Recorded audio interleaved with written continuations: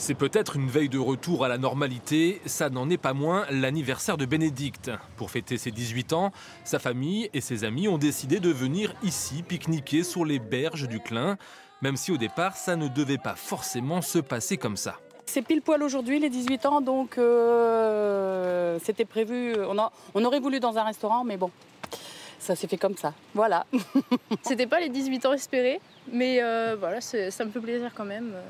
C'est toujours agréable. Juste à côté de Bénédicte et de sa famille, l'ambiance est plus sérieuse.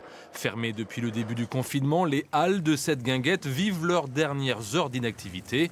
Ce soir, les rubans de sécurité seront retirés. Tables et chaises vont retrouver leur place initiale sous les lampions.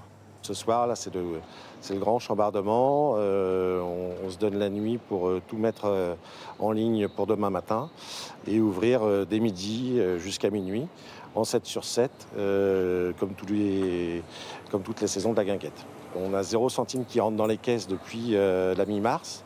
On a forcément un peu d'argent qui sort et les trésoreries sont aujourd'hui au plus bas. Et, donc financièrement, pour nous, les, jours, les semaines et les mois qui viennent vont être euh, vraiment plus qu'importants. Mais la reprise ne se fera pas vraiment normalement puisque la moitié des places assises habituelles sera sacrifiée pour cause de normes sanitaires.